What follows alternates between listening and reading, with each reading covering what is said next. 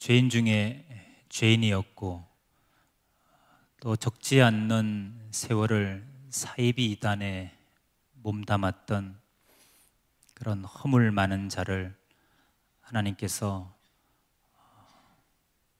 영원히 버리지 않으시고 다시금 찾아와 주셔서 기가 막힐 수렁이었고 또 사망의 음침한 골짜기였던 사이비 이단 신천지로부터 하나님께서 건져내 주시고 또 불러내 주셔서 예수 그리스도의 십자가 곧 복음 앞에서 회심할 수 있도록 은혜를 허락하시고 어, 이제는 하나님 편에서 사이비단 신천지와 영적인 전쟁을 수행할 수 있는 그런 작은 도구로 사용해 주신 하나님 또 이 귀한 자리까지 불러 주신 하나님께 먼저 감사와 찬양과 또 영광을 올려 드립니다. 어, 저는 원래 장로교 통합 측에서 처음 신앙생활을 시작을 했습니다. 어, 그러다가 1993년 7월 달에 직장을 퇴근한 후에 친구와 만나기 위해서 지하철로 이동을 하고 있었습니다. 그 만남의 장소가 서울 총신대 이수역 근처에서 만나기로 했기 때문에 약속 장소에 도착해 보니 조금 시간이 여유가 있었습니다. 그래서 늘 출퇴근 시간에 읽었던 성경책을 펼쳐놓고 어, 지하철 역사 안 벤치 안에서 벤치에 앉아서 성경책을 보고 있었습니다. 그때 이제 저에게 음, 다가오신 분이 계셨는데 그분은 본인을 소개하기를 안양에 있는 장로교회를 섬기는 집사라고 본인을 소개하면서 잠깐 옆에 앉아도 되겠느냐고 이렇게 아, 접근을 해 오셨습니다. 음, 저는 그리스도 안에서 형제를 만났다 하는 또 같은 동역자를 만났다는 생각에 전혀 경계심 없이 또 주의함 없이 그냥 편하게 아, 옆에 앉으라고 권했고 이제 대화를 나누게 됐습니다. 그분은 성경책을 읽고 있는 제 모습에 본인이 감동을 받았다 그러면서 칭찬을 해주시는 거예요. 그리고 저에게 이런 날카로운 질문을 던졌습니다. 시편에 보니까 하나님의 말씀이 송이꿀보다 더 달다 하는 말씀이 있고 찬성과 가사에도 달고 오묘한 그 말씀 이런 가사가 있는데 형제님은 이렇게 열심히 성경을 읽으면서 날마다 날마다 송이꿀 같은 말씀을 경험을 하십니까? 이렇게 질문을 하셨습니다. 혹 여러분에게 누가 이와 유사한 질문을 했다면 여러분은 어떻게 대답을 하시겠습니까? 여러분 날마다 성경책 읽으면서 송이꿀 같은 말씀을 경험하시죠?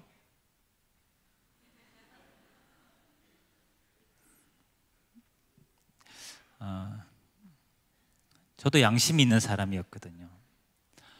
그 날마다라는 말에 사실 찔리더라고요. 제가 그분에게 솔직하게 이렇게 말씀을 드렸습니다. 제가 성경을 읽기는 읽지만 잘 이해되고 깨달아지는 부분은 송이꿀 같기도 하지만 때로는 성경을 읽다 보면 의무적으로 읽을 때도 있고 또 읽다 보면 난해하고 어려운 부분을 대할 때는 이해가 안 되니까 답답하기도 하고 궁금하기도 하고 깨닫지 못하는 제 자신이 부끄럽기도 하고 그런 적이 한두 번이 아니라고 저는 솔직하게 제 성경관을 저의 신앙생활에 대해서 그분에게 말씀을 드렸습니다. 그랬더니 그분이 마치 당연한 얘기를 들었다 하는 마음으로 저한테 성경책을 잠깐 빌려달라 그러시더라고요. 제가 빌려드렸어요. 그분이 성경 구절을 하나하나 찾으시는 거예요. 그러면서 정말 말씀을 재미있게 읽는 방법을 일러주고 싶다는 거예요. 송이꿀 같은 말씀을 경험할 수 있는 방법을 일러주고 싶다는 거예요. 그러면서 요한복음에 나와 있는 성경 구절을 하나하나 찾아가면서 저한테 보여주셨습니다. 근데 본인은 그 성경 구절을 다 외우고 계시더라고요. 요한복음 1장 1절에서 5절까지, 요한복음 3장 18절에서 21절 말씀, 요한복음 8장 12절의 말씀, 요한복음 9장 4절에서 5절의 말씀, 주로 빛과 어둠에 관련된 구절들을 하나하나 찾아가면서 저에게 이런 식의 성경 해석을 해주시는 거예요. 자연계에 보면 빛이 있고 어둠이 있어서 빛이 비추면 어둠이 다 빛 앞에는 떠나가게 되고 또 빛이 있음으로 인해서 모든 사물이 밝히 드러나게 되고 또 빛이 있음으로 인해서 사람도 동물도 식물도 이렇게 생명을 유지할 수 있는 것처럼 성경에는 하나님 예수님께서 영적인 빛과 어둠을 우리에게 소개를 해 주셨는데 요한복음을 쭉 읽어 보니까 영적인 빛이 뭐냐? 바로 예수님이 세상의 빛, 생명의 빛으로 오셨기 때문에 예수님이 영적인 빛이라는 거예요. 그리고 그분이 오셔서 생명의 말씀을 전파하셨는데 그 생명의 말씀이 우리의 무지하고 어두운 심령에 생명과 깨달음을 주는 빛이라는 거예요. 예수님과 생명의 말씀을 듣고 받아들이면 어둠에서 빛의 자녀로 거듭나게 되는 것이고 그 복음과 예수님을 받아들이지 않으면 어둠의 자식으로 정죄가 된다는 내용으로 저에게 비유풀이라는 것을 한 20분 정도 소개를 해 주셨습니다. 그분의 그 성경 해석을 제가 곰곰이 들으면서 솔직하게 말입니다. 제가 그분의 그 해석이 성경풀이가 옳은지 그른지 이런 분별력, 판단력은 저에게 없었습니다. 제가 무슨 그때 신학 공부를 한 사람도 아니었고 성경을 깊이 있게 공부한 사람도 아니었기 때문에 이분의 설명이 맞는지 틀린지 이런 분별력은 지각은 없었습니다만은 그냥 이런 생각은 들더라고요. 참 이분이 나름대로 성경을 논리적으로 또 체계적으로 세상의 이치를 빗대어서 아주 쉽게 설명을 하는구나. 제가 듣기에도 기가 솔깃할 정도로 그렇게 아주 점잖게 논리적으로 얘기하시더라고요. 그런 논리에 제가 마음이 동했던 것도 사실입니다. 성경에 대한 지적인 욕구가 아주 강했던 시기였기 때문에 그런 논리에 제가 사실은 마음이 동했습니다.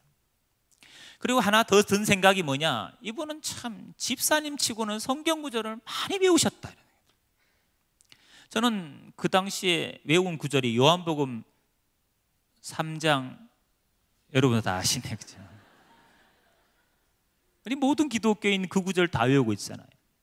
저는 그 구절은 정확히 외웠는데 이분은 제가 만난 집사님 치고는 성경 구절을 정말 토시 하나 안 틀리고 다 외우시는 거예요. 제가 그거에 놀랬어 사실은 도전도 받았어요.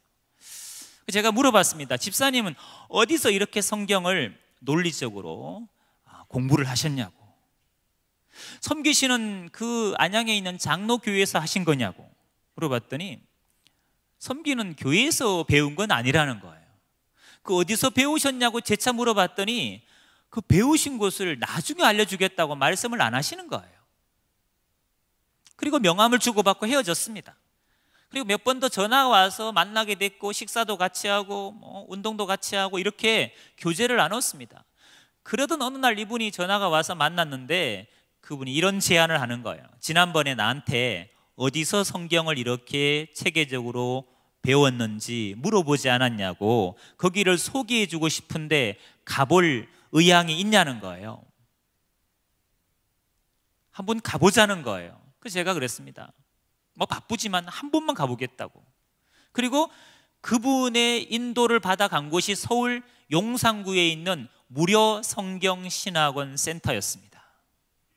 가 보니까 저녁 7시 반, 직장 퇴근 후에 7시 반 정도 제가 들어갔는데 수강생들이 한 3, 40명이 모여 있더라고요. 책걸상에 앉아서 성경을 배웠습니다. 한 번 듣겠다고 하고 저는 한 번 들은 거예요. 근데 한 번 듣는데 그 성경 공부가 너무 재밌는 거예요. 그래서 강의가 끝난 다음에 제가 수강 신청서를 썼습니다. 6개월 듣기로. 그 한 번의 수강이 6개월로 이제 결심이 바뀐 거예요. 직장 퇴근 후에 매주 월화 목금 일주일에 네 번 공부를 시작하게 됐습니다. 근데 공부를 하면 할수록 아주 깊이 빠지더라고요, 제가요. 스폰지가 마치 물을 빨아들듯이 물을 빨아들이듯이 깊이 빠지더라고요.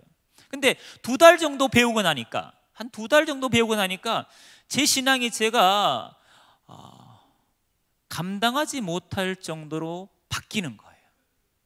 정확히 말하면 제 신앙이 제가 감당하지 못할 정도로 변질돼 가는 거예요. 물론 그때는 좋은 변화라고 생각했습니다. 가장 눈에 띄게 나타난 건 뭐냐? 교회에서 예배 드리는 제 자세예요. 목사님 시선을 자꾸 피하게 되더라고요. 그리고 목사님 설교 중에 자꾸 성경만 뒤적거리는 거예요. 그렇게 은혜스러웠던 목사님의 메시지가 어느 주일날은 하나도 마음에 와닿지 않았습니다. 그리고 목사님이 몰각한 목자, 사탄의 목자라고 그렇게 판단이 되는 거예요. 같이 신앙하던 지체들이요. 말씀도 모르고 비유풀이도 모르고 예언서도 모르고 계시록도 모르고 진리도 깨닫지 못한 그런 불쌍한 지체들로 판단이 되는 거예요. 제가 심적으로 너무 힘들었습니다. 괴로웠습니다. 그렇게 판단이 되고 비판이 되니까 괴롭더라고요. 그래서 제가 교회 문제로 인해서 고민을 하게 됐습니다. 내가 이 교회를 떠나야 되나? 아니면 이런 거 다 무시하고 그냥 섬겨야 되나? 이런 고민을 하게 됐습니다. 두 달 정도 지나니까 그 무료 성경 신학원 센터에서 이제 강사 전도사들이 잘 따라오니까 이제 노골적으로 자기들의 본심, 흑심을 드러내는 거예요. 그들의 결론은 이거였습니다. 오늘날 기성교회, 장로교, 감리교, 성결교, 침례교, 순복음이라는 기존 교회들은 다 바벨론이라는 거예요.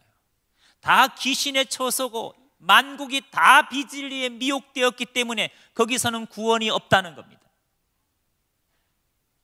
이런 어두운 밤에 하나님 예수님께서 이 땅에 진리가 있고 생명이 있는 구원이 있는 교회 하나를 세웠는데 그곳을 비유로 말하면 높은 시온 산이라는 거예요. 그리고 다른 말로 새하늘 새 땅 줄여서 신천지라는 겁니다. 거기에 한 목자를 세웠다는 겁니다. 계시받은 한 목자, 이긴 자, 증인, 새 요한, 충성되고 지혜로운 종, 보혜사, 그리스도, 이 시대 구원자 한 사람을 세웠다는 겁니다. 그래서 지금은 기존 교회를 나와서 시온산으로 이렇게 교적을 옮기고 교회를 옮겨야 될 때라는 거예요. 거짓 목자를 버리고 참 목자가 있는 신천지로 교적을 옮기라는 거예요. 그걸 그들의 용어로 뭐라 하느냐? 6월, 6월 이런 용어를 씁니다. 영적 6월 이런 용어를 씁니다. 저보고 영적인 6월을 하라는 거예요. 누가 여러분에게 이런 황당한 얘기를 아는 지인이 했다거나 모르는 사람이 했다고 한번 가정해 보겠습니다. 여러분 그런 말을 듣고 어떻게 반응하실 거예요? 무반응.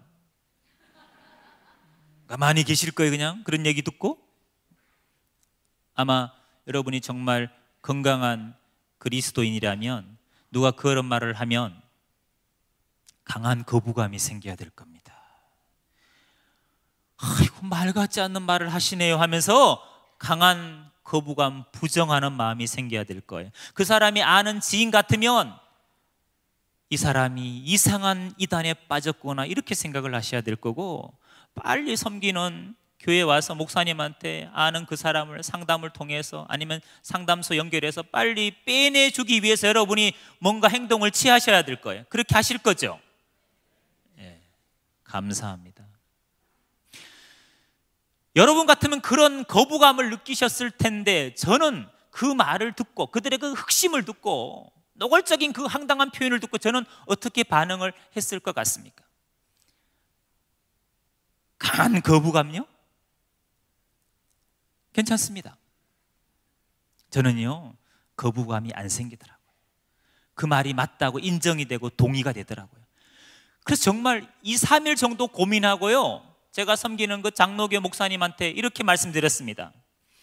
집 주변에 가까운 개척교회가 있어서 너무 어려운 것 같아서 제가 그 개척교회를 돕겠습니다.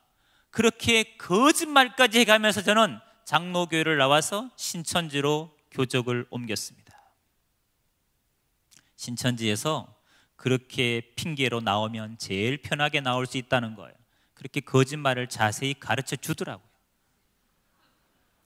그 당시에는 다 그런 식의 핑계로 신천지로 넘어갔습니다. 이사 가야 된다. 직장 때문에 멀어졌다. 가족 중에 누가 개척을 해서 도와야겠다. 누굴 전도해야겠다. 이런 핑계 아닌 핑계를 대면서 신천지로 다 교회를 옮겼습니다. 저는 신천지 그렇게 거부감, 그들의 그 노골적인 표현을 듣고 거부감이 안 생기고 그렇게 그들의 말대로 동조한 이유를 생각해 봤습니다. 여러분, 저는 왜 여러분처럼 강한 그런 말에 거부감이 안 생기고 동의가 됐을까, 여러분? 저는. 이게 정말 중요한 얘기입니다, 여러분.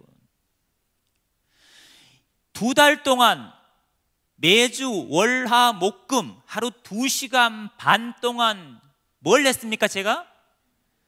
무료 성경 신학원 센터에서 성경 공부를 했습니다, 여러분. 성경 공부란 말, 우리 그리스도인들에게는 거부감이 느껴지는 말이 아닙니다. 제가 어떤 동기로 성경 공부를 했을까요? 저는 이런 동기로 했습니다. 제가 어차피 평생의 신앙생활을 할 거, 기왕이면 하나님의 말씀인 성경을 알고 신앙을 하면 나에게 영적으로 유익하지 아니할까? 이런 동기로 시작한 겁니다. 여러분, 두 달 동안의 그 성경 공부는요, 저의 지각을 이미 망가뜨려 놨습니다. 분별력을 잃게, 잃게 했습니다. 분별이 안 된 거예요. 그래서 그런 흑심을 듣고도 동의가 되는 거예요. 여러분, 그릇된 성경 공부가 여러분 영혼에 미치는 치명상이 있습니다, 여러분. 그래서 교회 밖에 검증되지 아니한 성경 공부에 대해서 경계하는 거예요. 교회가. 성경 공부란 말은 정말 좋은 말입니다. 그러나 바른 성경 공부인지 그릇된 성경 공부인지는 여러분이 반드시 검증을 하셔야 됩니다. 성경관이 바뀌니까 구원관도 바뀌고 영생관도 바뀌고 신앙관도 180도 바뀌더라고요. 말 같지 않는 말도 믿어지는 거예요. 성경관이 바뀌니까 그 말 같지 않은 교주도 구원자로 믿어지고 메시아로 믿어지더라고요. 육체가 죽지 않고 영원히 산다는 게 그들의 영생교리입니다. 그것도 믿어지더라고요. 성경관이 바뀌니까 여러분. 그 여러분 성경 공부를 절대로 가볍게 생각하시면 안 됩니다. 옳은 성경 공부는 여러분의 믿음과 구원을 확증할 겁니다. 저는 신천지 미혹되어서 교회를 옮기고 난 다음에 제일 먼저 한 일이 뭐냐? 저는 다니던 직장에 사직서를 냈습니다. 줄도 없고 백도 없는 사람이 어렵게 직장을 내갔는데 사직서를 냈습니다. 왜 사직서를 냈느냐 하면 신천지 가서 설교를 듣고 강의를 듣다 보니까 지금은 직장 다닐 때가 아닌 거예요. 대학생 같으면 대학생들 같으면 학업에 막 열중할 때가 아닌 거예요. 가정생활, 사회생활에 충실한 사람은 신천지 가보니까 믿음이 없는 사람이에요. 신천지가 요구하는 믿음이 없는 거죠. 신천지가 요구하는 믿음은 신천지 역사를 위해서 14만 4천을 포교해서 신천지를 완성하는 그 역사를 위해서는 기꺼이 직장도 포기하고 학업도 포기하고 이혼을 해서 가출을 해서라도 그들은 거기에 올인하게끔 끊임없이 요구합니다. 그게 신천지가 요구하는 믿음입니다. 그래서 강사 교육을 받고 94년도부터 신학원 센터에서 강의를 시작했습니다. 96년도에 서울 금천구 요한집합 금천교회를 개척을 해서 2006년까지 14년 동안 적지 않는 세월을 사이비 이단 신천지에 몸담으면서 그것도 가르키는 일을 하면서 교주의 수족이 되어서 종노릇을 했습니다. 이런 허물 많은 자에게도 주님이 찾아오셔서 제가 14년 동안 믿고 가르쳤던 신천지 핵심 교리가 있는데 그게 실상 교리와 영생 교리입니다. 근데 그 실상 교리, 영생 교리가 비성경적이고 반복음적이라는 사실을 저는 14년 만에 주님의 은혜로 눈뜨게 됐습니다. 그래서 성도들 앞에 양심 선언을 하고 2006년 말에 신천지를 탈퇴하게 됐습니다. 한국 교회의 암적인 존재지요. 개인적으로는 영육을 피폐케 하는 조직이죠. 가정을 깨뜨리는 조직 아닙니까? 이혼을 조장하고 가출을 조장하는 이런 사이비 집단은 이건 종교도 아니라는 이건 사교다는 생각이 들어서 신천지와 싸움을 시작하게 됐습니다. 이 사역을 하면서 평일날은 주로 저희는 상담을 합니다. 신천지에 미혹된 사람을 대상으로 회심시키는 상담을 하고 있습니다. 이렇게 주일날은 세미나를 하지만 말입니다. 근데 이 일을 하면서 저희 이단 전문가들이, 이단 상담사들이 가장 힘들어하는 게 뭐냐? 여전히 해마다 적지 않는 그리스도인이 사이비 이단 신천지에 넘어간다는 현실입니다.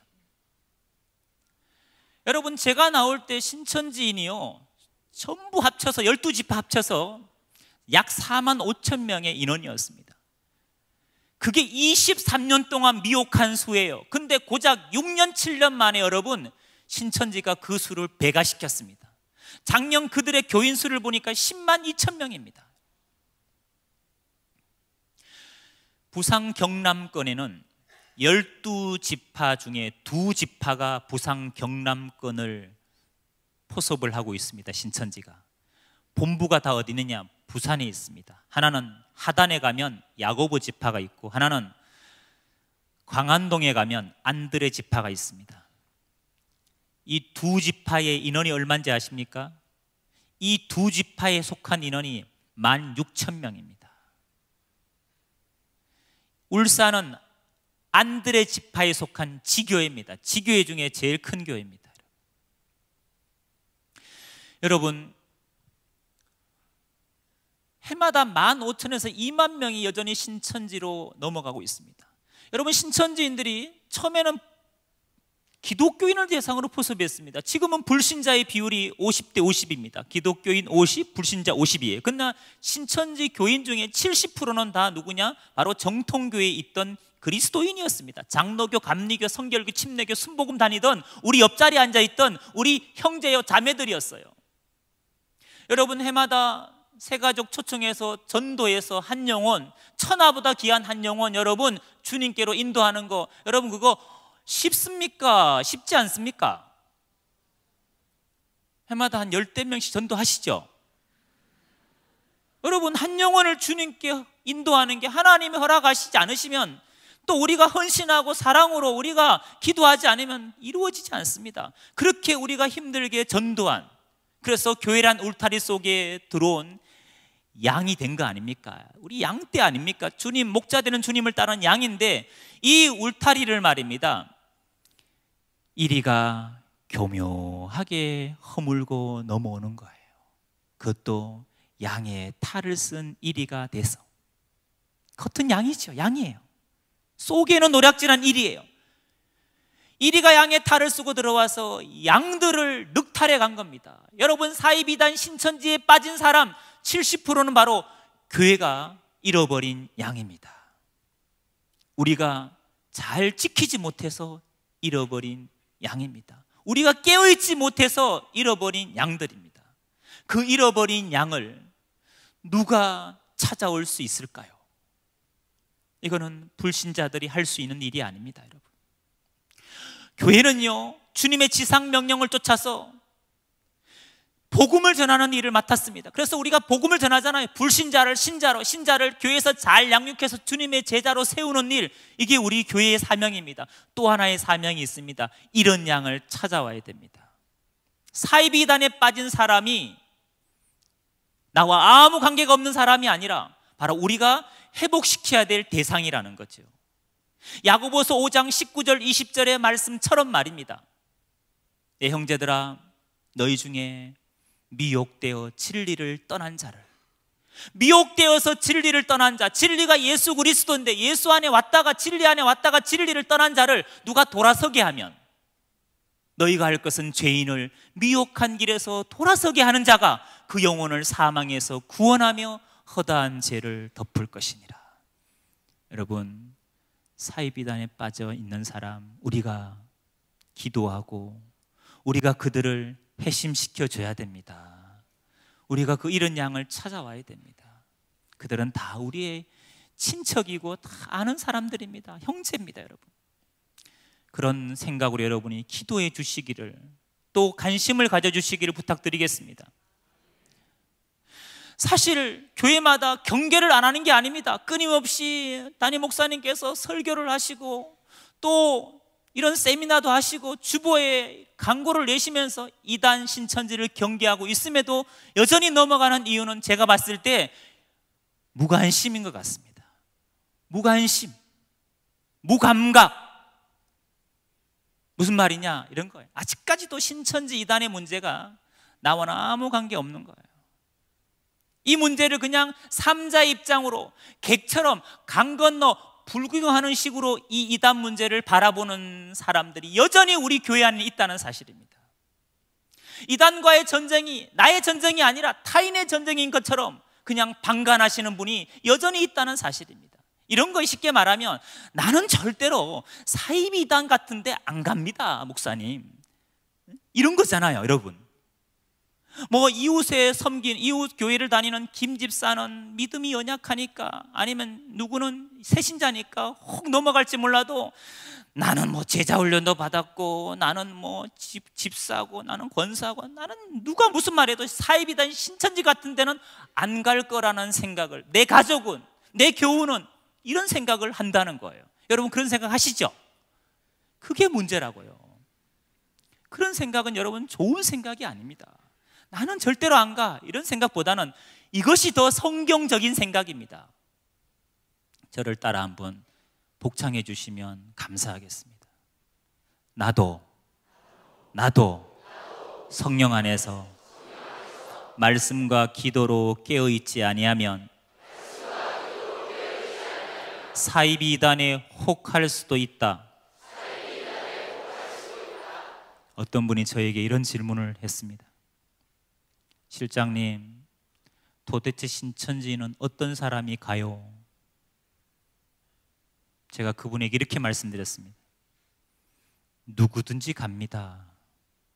깨어있지 않으면 누구든지 갈 수 있습니다. 누구든지 깨어있지 않으면 저들의 희생양이 될 수 있습니다. 신천지에는요, 전직 목회자도 있고요. 신천지는 전도사도 있고요. 전도사는 하도 많아 수도 못 셉니다. 장로도 있고 권사도 있고 안수집사도 있고 새신자도 있고 모태신앙도 있고 여러분 다 있습니다 여러분. 깨어 있지 않으면 누구든지 갈 수 있는 것입니다 여러분. 관심을 여러분 가져주시기 바랍니다.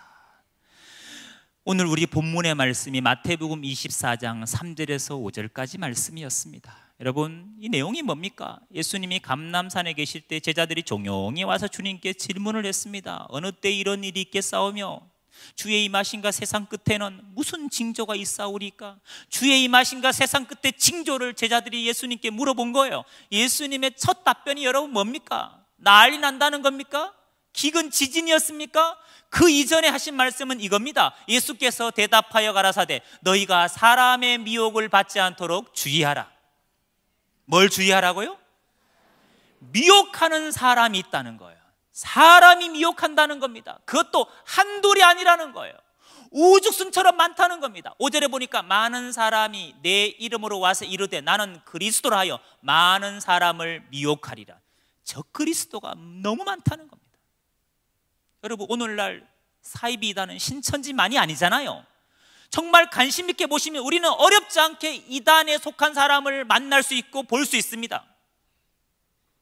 하나님의 교회 들어본 일 있죠? 안상옥 증인입니다. 안상옥이를 아버지 하나님으로 믿고 있고 그 부인 장길자를 어머니 하나님으로 믿는 종교입니다. 거기는요, 200만이 넘었습니다. 교회 수가 세계적으로 2200개입니다, 여러분. 여러분 만만하지 않습니다. 몰몬교, 안식교, 구원파. 구원파는 또 얼마나 파벌 또 많습니까? 박옥수파, 이요한, 권신찬. 여러분, 우리가 관심만 가지면 이단은 그렇게 어렵지 않게 볼 수 있습니다. 여호와 증인 얼마나 많습니까, 여러분? 이게 여러분 주님이 말씀하신 때의 징조인 줄 믿습니다. 그래서 이단이 이렇게 많은 것은 하나도 이상한 일이 아니에요. 교회에서 이단을 경계하는 건 하나도 이상한 일이 아니에요. 이거는요, 주님의 말씀이 그대로 이루어진 거예요. 초대교회도 마찬가지입니다. 사도들이 여러분 초대교회 편지 보낼 때 서신서에 꼭 빠지지 않고 언급되는 게 뭡니까? 바로 적그리스도 거짓 선생의 문제였습니다. 왜? 고린도 교회 교인들이 그 다른 복음, 다른 예수, 다른 영을 쫓아가더라는 거예요. 용납하고 다른 복음을 따라가더라는 거예요. 그걸 경계했습니다. 바울은 갈라디아 1장 6절에서 고린도후서 11장 4절에서 베드로 사도는 베드로후서 2장 1절에서 저 민간에 거짓 선지자들이 있는데 문제는 너희 중에도 거짓 선생이 있어서 멸망케 할 이단을 가만히 끌어들여 자기들을 사신 주를 부인하게 한다는 거예요. 밖에도 있는데 안에도 들어와 있다는 거예요. 그들은 서로 통한다는 거예요. 그래서 누굴 미혹하느냐? 베드로후서 2장 14절 보니까 굳세지 못한 영혼을 미혹한대요. 교회 안에 굳세지 못한 영혼. 19절에 보니까 그들에게 뭘 준다느냐? 자유를 준대, 자유를. 여러분, 자유 얻었어요? 자유 얻어야 돼요? 이 대답이 이렇게 흐리지요? 자유 얻었어요? 자유 얻으셔야 돼요? 여러분 이미 진리 안에 예수 안에 자유를 얻으신 겁니다. 죄의 종로로 사다가 우리가 예수 그리스도의 십자가의 복음을 통해 이미 자유한 거 아니에요. 나 자유 얻었네, 너 자유 얻었네, 우리 자유 그렇게 부르지 않았습니까? 근데 저들은 이렇게 얘기합니다. 자유를 얻어야 된다고. 우리는 이미 진리 안에 자유 얻었다고 믿고 있는 우리에게 와서 자유를 얻어야 된다는 거예요. 그 말은 뭡니까? 또 다른 진리가 있다고 유혹하는 거예요. 또 다른 은비한 비밀, 또 다른 뭔가 깊은 하나님의 말씀이 또 다른 얻어야 될 구원과 자유가 있다고 그들은 미혹하는 거예요. 여러분, 다른 자유, 다른 복음은 없습니다. 근데 교묘하게 성경 갖고 미혹하는 겁니다, 여러분. 그걸 여러분 베드로 사도는 경기했습니다. 여러분 초대교회 또 끊임없이 교회에 편지할 때 사도들은 거짓 그리스도, 적 그리스도, 영지주의자들, 에비언주의자들 다 경계했습니다. 여러분 오늘날 또 그때처럼 경계하는 건 이거는 당연한 거 아니겠습니까, 여러분? 당연히 해야 됩니다. 여러분 무관심에서 벗어나시면 이 싸움은 우리가 이긴 겁니다, 여러분. 여러분이 깨어 있어서 여러분 영혼을 지키고 가족을 지키고 교회를 지킨다면 말입니다. 더 이상 신천지가 와 있어도 와 있어도 미혹할 사람이 없는 거예요. 제가 부산에서 지금 사역을 하고 있는데요. 제가 한 4년 전에 부산 상담 때문에 올 일이 있어서 그때는 이제 서울에 있을 때인데 잠깐 내려왔는데 이제 지하철 환승을 하는데 서면역에서 환승을 하는데요. 어, 먼 눈에는 뭐만 보인다고 저는 꼭 그게 보여요. 그게 뭐 그냥 지나갈 수가 없어요. 저는 사실은요. 제가 당해봤잖아요. 어떤 자매가 열심히 성경 들고 어떤 형제한테 막 설명을 하는 거예요. 아담 때 뭐 사람이 아담이 첫 사람이 아니고 뭐 뱀이 그 뱀이 아니고 어디서 말 듣던 얘기잖아요. 제가 가던 걸음을 멈추고 유심히 지켜봤죠. 아니나 다를까 이 자매는 신천지인이고 형제는 대전에서 친구 만나러 왔다가 지하철 서면역에서 딱 걸린 거예요. 형제의 눈을 보니까 이미 맛이 갔어.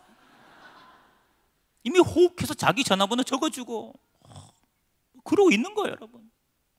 그 제가 그 형제한테 그랬어요. 형제님, 방금 만난 저 자매는 신천지인이라고.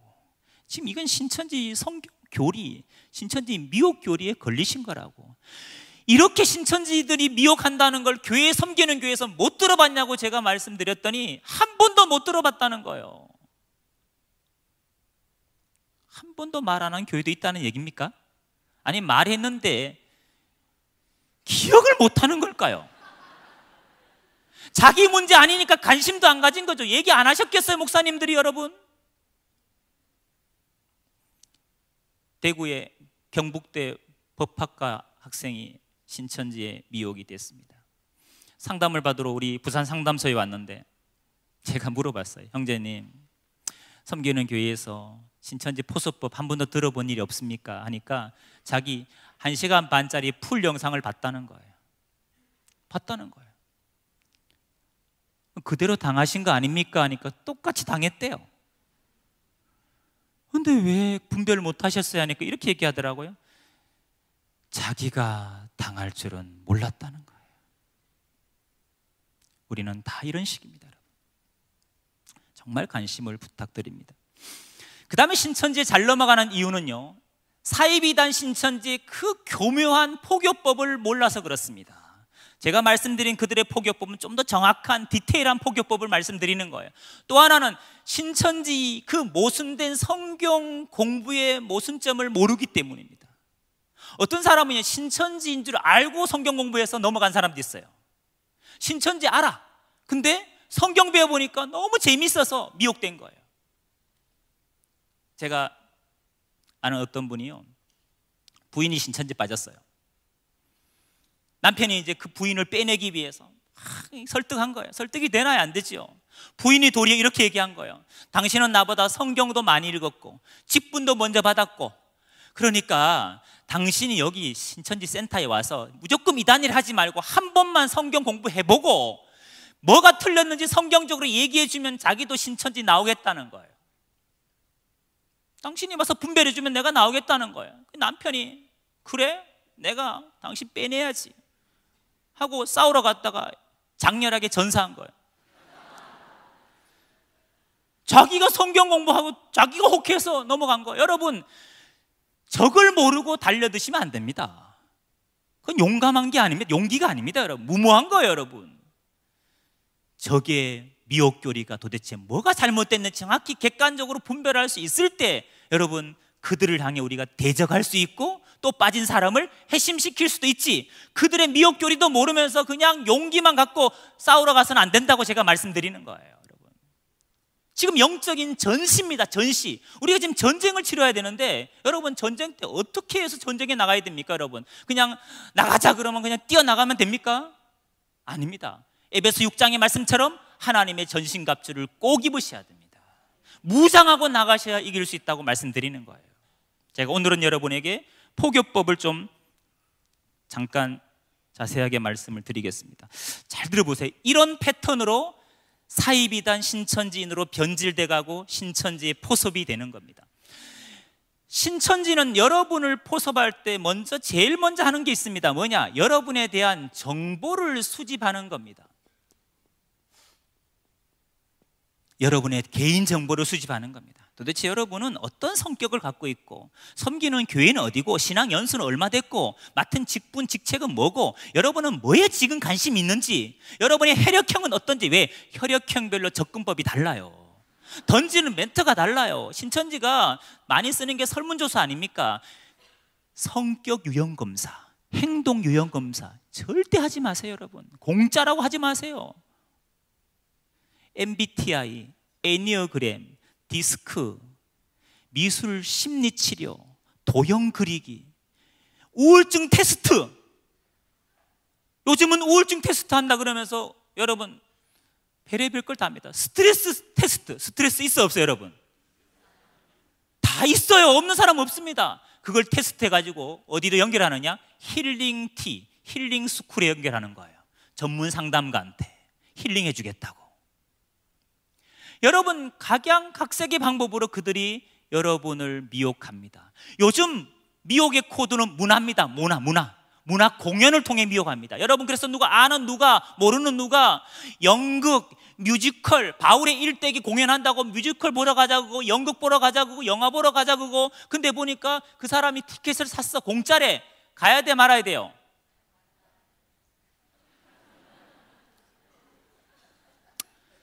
여러분 지금 부산에 모 대학의 뮤지컬 학과에 저희는 10명, 10명 정도가 신천지인이라고 명단을 받고 교수님한테 의뢰를 했더니 그게 기독교 대학입니다. 근데 교수님이 확인해 보니까 20명이 넘어요, 20명이. 그 뮤지컬 학과의 그 선후배 관계 속에서, 친구 관계 속에서 다 포섭이 된 거예요, 여러분. 모 대학의 연극 영화과 다섯, 여섯 명이 미혹됐고, 여러분. 그들이 그런 인재들을 미혹해서 뭐 하느냐? 연극 공연을 하는 거예요, 여러분. 그러니 프로처럼 잘하죠. 교수님에 여쭤보니까 다 똘똘하고 잘하는 친구들이래요. 그런 애들이 다 넘어간 거예요, 여러분. 여러분의 정보를 먼저 수집합니다. 정보 수집은 가장 많은 방법이 이겁니다. 여러분이 아는 누가 신천지에 미혹됐다고 가정합시다. 그 한 사람을 앉혀놓고 신천지인은 뭐 하느냐? 그 사람과 관계된 모든 지인, 단 기독교인 먼저 모든 지인들의 개인 정보를 조사하는 겁니다. 이름부터 해서 핸드폰 번호부터 해서 요즘은 카톡에 다 떠요 안 떠요? 여러분 모르는 사람이 전화하고 하, 아는 척하고 여러분 기독교인 사칭하고 정말 조심하셔야 됩니다 여러분 그 미혹된 사람을 통해 모든 가족과 친척과 같이 신앙했던 교우들, 친구들, 그들의 개인 신상을 다 조사하는 거예요. 특별히 그 사람의 기도 제목, 그 사람의 최근에 뭐에 관심이 꽂혀 있는지 이런 관심사를 파악해서 그들은 계획을 세웁니다.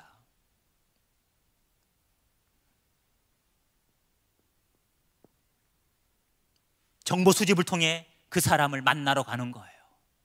그리고 그 사람과 친밀한 교제의 관계를 신뢰 관계를 구축하는 거예요. 이 관계 형성을 두고 뭘 하느냐? 신천지 용어로 섭외라 그러면 섭외. 여기에 관계 형성이에요. 근데 문제는 알고 접근한 거예요? 모르고 접근한 거예요? 나를 너무 잘 알고 나의 성향을 너무 잘 알고 접근하는 거예요. 그래 이 사람들이 해주는 모습을 보면 정말 천사처럼 잘해줍니다. 물심양면으로. 교회에서 사랑 많이 받으시죠? 그것의 두 배. 정도 생각하시면 되는 거예요. 자, 좀 더 한번 쉽게 그림으로 표현해 볼게요. 못 그리는 그림이 못 그리는 그림이지만. 자, 여기에 뭐로 보이죠? 여러분 자신이라고 하면 가정해 보겠습니다. 자, 나에 대한 정보를 이미 신천지가 다 파악을 했어요. 어떻게 파악했다고요? 제가 방금 말씀드렸잖아요. 방금. 가족, 친척, 친구, 같이 신앙했던 교우, 아는 지인을 통해서 파악한 겁니다. 그리고 그 파악된 정보를 가지고 신천지가 나를 뭐 하느냐? 추수하기 위해서 자기들은 뭐라 사칭하느냐? 추수꾼이라 그래요. 추수꾼. 추수꾼. 그 나를 열매 맺기, 열매 맺기 위해서 쉽게 말로 포섭하기 위해서 그들 입장으로 말하면 전도하기 위해서 어떻게 하느냐? 기본적으로 3명에서 7명이 팀을 만듭니다. 한 명이 접근하는 게 아니고 팀으로 접근합니다. 각자 컨셉을 정하지요. A라는 신천지인은 나하고 길에서 우연히 만난 것처럼 B는 커피숍에서 직장에서 가정에서 호별 방문한 것처럼 우연을 우연히 만난 것처럼 그 우연을 가장한 계획적이고 의도적인 만남을 만들어가는 거예요. 무슨 만남요? 우연을 가장한 계획적인 만남. 누구만 우연이냐? 나만 우연이에요. 이들은 계획한 겁니다. 우리 신앙인들은 누구를 우연히 만났다고 생각을 잘 안 해요. 다 하나님이 계획하시고 섭리하셨다고 생각하잖아요. 이런 우리 생각을 그들이 알까요, 모를까요? 알아요. 그래서 나도 곧 우연이 아니라 하나님의 계획으로 받아들이게 돼 있고 그들은 그렇게 유도를 해요. 근데 이게 하나님이 계획한 게 아니고 신천지인들이 여러분을 포섭하려고 작당을 한 거죠, 사실은. 자, 이렇게 해서 접근한 문제는 나를 안다는 거죠. 나를 안다. 내가 지금 자녀 때문에 힘들어하고 있는지, 내가 지금 가정 문제 때문에 힘들어하고 있는지, 내가 지금 육체 건강이 좋지 않아 힘들어하고 있는지, 내가 이성 문제 때문에 고민하고 있는지 알아요. 그래서 자녀 문제 때문에 고민하고 있으면 자녀 독서 지도사 연결해주고, 심리 상담 전문가를 연결해주고, 그러는 거예요. 건강 전문가를 연결해 주고 이렇게 하는 거예요. 이렇게 해서 나에게 도움을 주기 때문에 문제예요. 도움을 받기 때문에 그 사람과 관계 형성이 되는 거거든요. 때로는 여러분, 꿈을 갖고 접근하기도 합니다. 꿈. 만난 지 얼마 안 됐는데 나를 위해서 기도했다는 거예요. 아침마다 계속 성경 구절을 보내주면서 묵상하라 그러고 기도 제목 물어보면서 같이 기도해주고 늘 이렇게 잘해줍니다. 그러면서 어느 날 나를 위해서 기도했는데 하나님이 꿈으로 보여준 게 있다는 거예요. 그럼 보여준 게 있다 그러면 물어보 물어보야 안 물어봐요. 궁금하잖아 우리는요. 궁금하면 물어볼 거 아니에요. 무슨 꿈이냐고. 이럽니다. 이들이 집사님이 내 꿈에 나타났는데 집사님 앞에 뭐두 구리의 나무가 있더라는 거예요. 근데 집사님이 왼쪽 나무를 붙들고 하염없이 울고 있더라는 거예요. 근데 자기가 그 나무를 보니까 밑이 다 썩었더라는 거예요. 집사님이 썩은 나무를 붙들고 울고 있더라는 거예요. 옆에는 아주 건강하고 쌩쌩한 나무가 있는데 그거는 쳐다보지도 않고 그런 꿈 얘기를 하면서 이렇게 해몽을 하는 거예요. 집사님, 곰곰이 한번 생각해 보라고. 지금 영적으로 집사님 뭔가 선택을 함에 있어서 행여나 잘못 선택한 게 있는지 없는지 그 문제 때문에 자녀가 지금 저렇게 성격적으로 문제가 생겼고 자녀가 공부를 안 하고 남편이 저렇게 뭐 하고 이런 식으로 문제를 만들어 가는 거예요. 이거 꿈 꿨을까요? 안 꿨을까요? 음. 다 거짓말이에요. 거짓말이에요, 여러분. 어떤 권사님은 제가 이 꿈 얘기하니까 자기가 만난 누가 있는데 이런 꿈이 아니더라는 거예요. 다른 꿈이더라는 거예요. 그분은 신천지가 아니지요? 이렇게 물어보는 저한테 제가 깜짝 놀랐습니다. 야, 하나만 가르치면 하나만 기억하는구나. 야, 이렇게 사람이 지각이 없구나. 어차피 거짓말인데 꿈의 레파토리는 다양하겠죠? 그럽니다, 여러분. 여러분 우연히 여러분이 커피숍에서 식당에서 밥을 먹는데 누가 다가왔어. 여러분에게 이렇게 질문했다 합시다. 혹시 교회 다니시지 않냐고. 혹시 집사님 아니냐고. 이렇게 얘기했다 합시다. 그 여러분 어떻게 대답하세요? 나 어제까지만 다녔다 그럽니까? 교회 다닌다 그러죠? 어, 예, 당연히 얘기하지 우리는. 그럼 그들이 이렇게 얘기합니다. 아, 역시 그러셨군요. 그럼 물어보죠. 뭐가요? 그럼 자기 신앙 간증을 하는 거예요. 자기가 막 경험한 은사를 얘기하고 이러면서 제가 커피를 마시다가 밥을 먹다가 집사님이 딱 여기 앉은 모습을 무심코 딱 봤는데 그때 하나님께서 저에게 강한 메시지를 주셨다는 거예요. 자기는 몇 년 전에 이런 체험을 했는데 그때 받은 은사가 예언의 은사와 투시 은사를 받았다는 거예요. 선물로 하나님께. 근데 집사님을 보는 순간 하나님이 강한 메시지를 줬다는 거예요.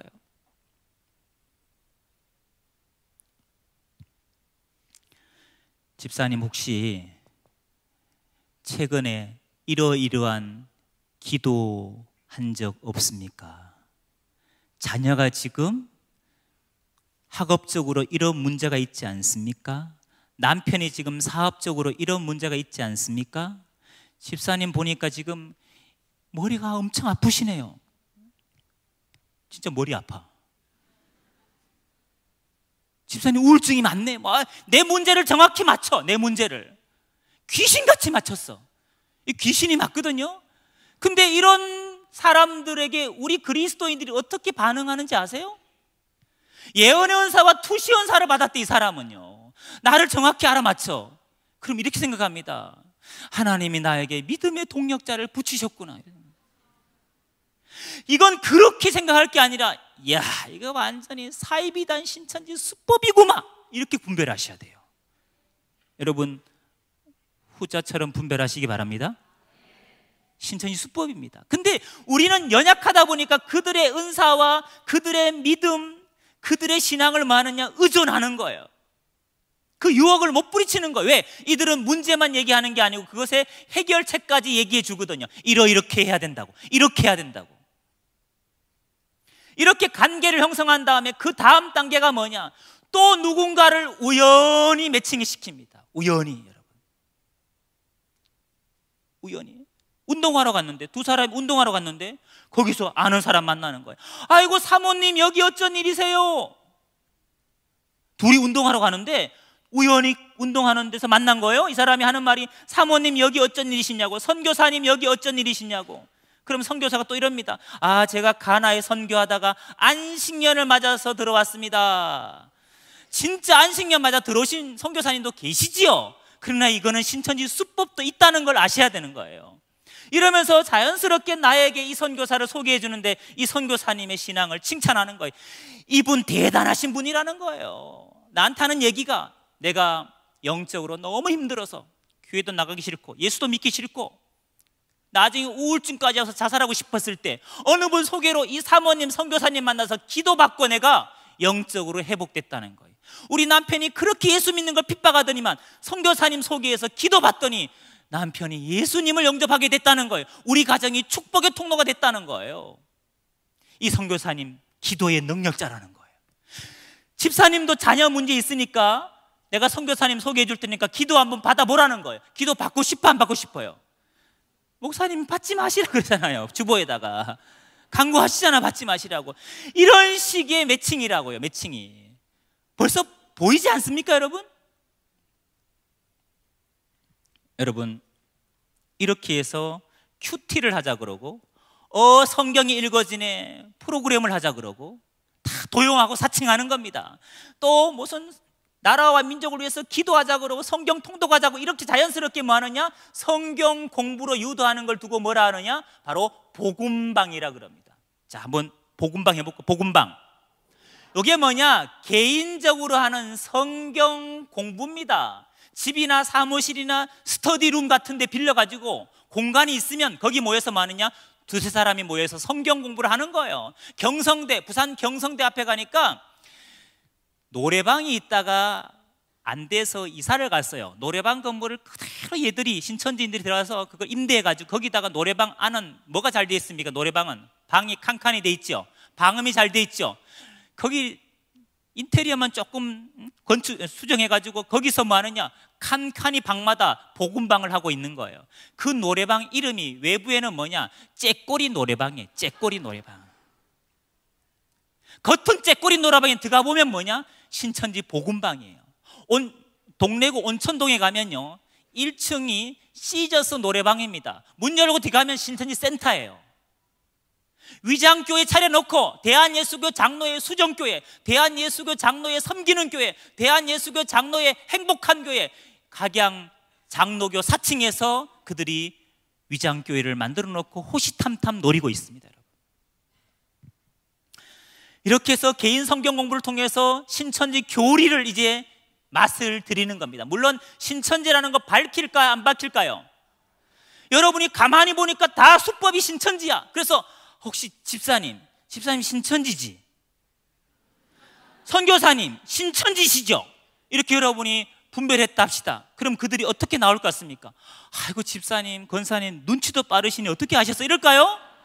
절대 그렇지 않습니다. 여러분, 신천지인들은요, 특징이 있습니다. 여러분을 포섭하고 미혹할 때 신천지인의 특징을 꼭 기억하셔야 됩니다. 신천지는 거짓말과 연기력이 빼어납니다. 따라합시다. 신천지는 거짓말과 연기력이 탁월하다. 하는 말마다 거짓말입니다. 여러분이 신천지라는 걸 분별하고 얘기해도 그들은 자기가 철저히 아니라고 얘기합니다. 그리고 이런 말을 많이 합니다. 성경적으로 잘못된 게 뭐가 있냐고. 성경적으로 틀린 게 뭐가 있냐고. 성경적으로 틀려야 이단이 아니냐. 이런 식으로 나옵니다, 여러분. 그 다음에 신천지가 이렇게 개인 복음방을 할 때, 훌륭한 선교사나 사모를 통해 성경 공부를 할 때, 그들은 이런 말을 많이 합니다. 이거 철저히 비밀을 지켜야 된다고. 이거 숨겨야 되고 이거 감춰야 된다는 거예요. 누구한테 숨기고 감추고 비밀을 지키라 그럴까요? 목사님, 교회 식구들, 그리고 가족들, 친구들에게 철저히 비밀을 지키라 그럽니다. 그걸 그들 용어로 입막음이라 입막음. 입조심 시킵니다. 근데 입막음 할 때 꼭 뭐 갖고 미혹하느냐? 성경 구절을 갖고 마치 비밀을 지키고 숨기고 감추는 것이 성경적인 양, 하나님의 말씀대로 하는 양, 그렇게 미혹한다는 걸 꼭 기억하십시오. 성경 구절로 설득시킵니다, 여러분을. 이런, 이런 말이 있어요. 자문서 12장 23절 보면. 슬기로운 자는 지식을 감추어 두어도 미련한 마음은 미련한 것을 전파한다고. 슬기로운 자 되실래요? 미련한 사람들을 물어보는 거예요. 슬기로운 자는 지식을 감춘다는 거예요. 마태 13장 44절 인용하면서 천국은 마치 밭에 감춘 보화 같은데 이를 발견한 후에는 숨겨두고 보화를 발견하면 숨겨두라고 주님이 가르쳤다는 거예요. 내 소유가 됐을 때 밭을 사서 내 소유가 됐을 때 자랑해야지 발견했다고 자랑하면 사단 마귀가 와서 빼앗아 간다는 거예요. 그 절대로 말하면 안 된다는 거예요. 사단 마귀 해방을 받는다는 거예요. 이렇게 여러분을 성경 구절로 설득합니다. 여러분 눈빛을 보면서 설득 당했느냐 안 당했느냐 끊임없이 체크하면서 미혹합니다. 이렇게 해도 막 의심의 눈초리하면 또 미가서를 찾습니다. 너희는 이웃도 믿지 말고 친구도 의지하지 말고 품 안에 있는 여인에게도 입의 문을 삼가라고 믿고 말하지 말라는 거예요. 절대로 한 입을 쓰고 있는 가족들에게도 입 조심해라는 거예요. 입의 문을 삼가라 그랬지 않냐 이거예요. 이게 하나님이 주신 지혜라는 거예요. 여러분 이렇게 성경 구절로 설득하면 거기는 100% 신천지입니다, 여러분. 아전 인숙격으로 성경을 해석해서 그릇 해석해서 여러분의 지각을 망가뜨리는 거예요. 그 다음에 삼자와 매칭하는 것이 복음방의 특징입니다. 관계 맺은 사람이 성경 가르치는 게 아니라 훌륭한 누구를 소개해서 복음방을 가르치려면 복음방 교사 자격증 최소한 상급이 있어야 됩니다.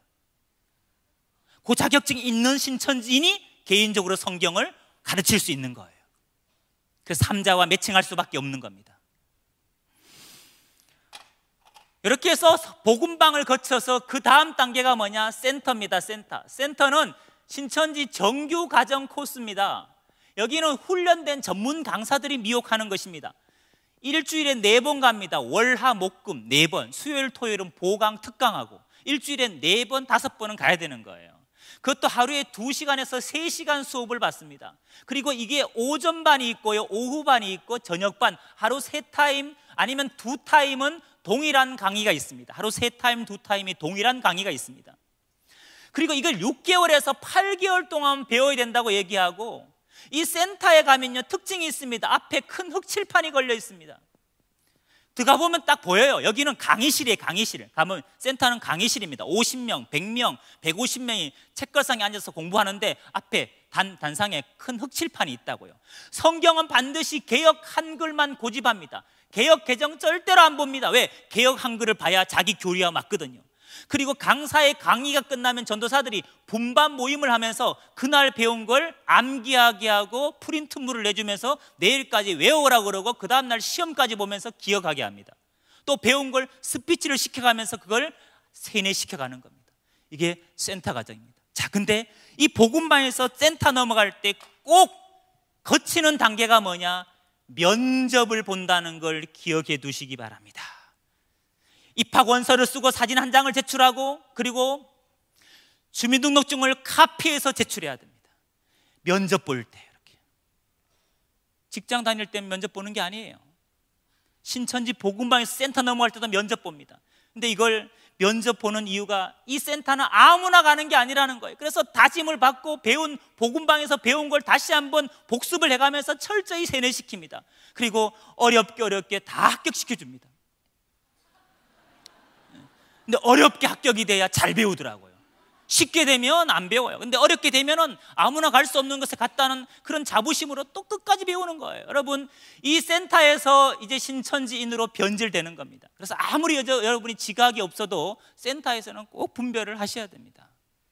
그 다음에 이제 마지막 단계가 교회, 신천지 교회 가서 그들식의 예배와 훈련을 받는 겁니다. 사실 이들은 훈련 프로그램이요. 상상을 초월합니다. 정신교육도 받습니다. 체력 훈련도 받습니다. 무박 3일로 정신교육 받기도 합니다. 그 프로그램 이런 게 있습니다. 성도들을 공원이나 이런 산 같은 데 불러가지고 저녁 7시에 불러가지고 11시까지 훈련시킵니다. 뭐 하느냐? 앞으로 치침, 뒤로 치침, 좌로 굴러, 우로 굴러 선착순 시켜가면서 그리고 산 정상까지 올라가기 전에 먼저 신천지에서 지은 죄를 해결하라는 거. 열심히 전도 안 한 죄, 열심히 말씀 공부 안 한 죄, 누굴 미워한 죄, 죄를 다 해결하라는 거예요. 그 죄짐의 무게만큼 돌을 들라는 거예요. 양심껏 큰 거 들었던 사람은 그걸 정상까지 들고 가야 됩니다. 그리고 중간에 가다가 땅을 파서 누우라 그럽니다. 자기 누울 자리 파서. 그리고 눈, 코, 입 놔두고 흙을 덮습니다. 당신은 죽었다는 거예요. 살려주세요 외치라는 거예요. 살려 빼내줍니다. 당신 죽었다 살았으니까 이 목숨 누구 위에 드려야 되느냐? 이긴 자 위에서 신천지 위에서 드려야 된다는 거예요. 이런 비인격적이고 비도덕적인 훈련을 시킵니다. 이렇게 무장된 사람이 다시 여러분을 포섭하기 위해서 이렇게 활동하는 겁니다. 여러분, 제가 신천지로 넘어가는 변질되는 일련의 과정을 1, 2, 3, 4, 5번 이렇게 자세하게 말씀드렸습니다. 어디서 분별하시는 분이 지각이 있으신 분일까요? 여기는 선견 지명이 있어야 된다니까요. 여기는 나중에 알게 되죠. 어떤 경우냐? 누가 나한테 야 다가와서 나를 잘 알아맞추고 신천년 사주팔자도 맞추는 거 아시죠? 보살로 가장한 컨셉도 있습니다. 보살 무신론자한테는 그렇게 접근합니다. 사주팔자 맞추면서 진짜 맞췄겠어요? 정보 수집이 힘이겠어요? 정보 수집의 힘입니다. 자 누가 나한테 잘해요? 너무 잘해요. 날 잘 맞춰. 또 사람도 괜찮은 것 같아. 그때 여러분 이 생각하셔야 됩니다. 이 사람이 혹시 거짓말과 연기력이 탁월한 또 내 정보를 이미 내 가족이나 친척이나 친구나 교우를 통해 이미 알고 우연을 가장한 계획적인 만남을 연출한 신천지인이 아닐까 혹시 이 생각을 하셔야 돼요. 근데 아니야 다를까 재밌게 같이 등산도 하고 밥도 먹고 재밌게 지냈는데 어느 날 우연히 누군가를 연결했어.